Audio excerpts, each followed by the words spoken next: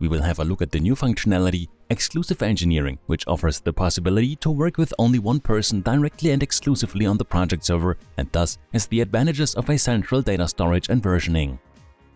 Creating an exclusive session can be done from the Manage Server Projects overview.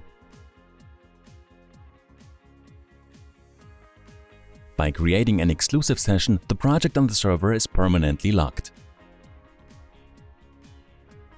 Even if the exclusive session is closed, the project on the server stays locked.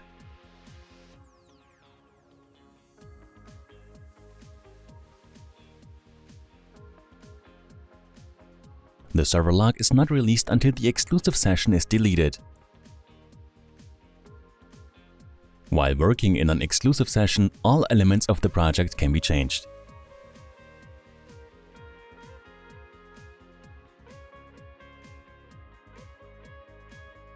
With the button Apply Changes, the modifications are transferred to the server project.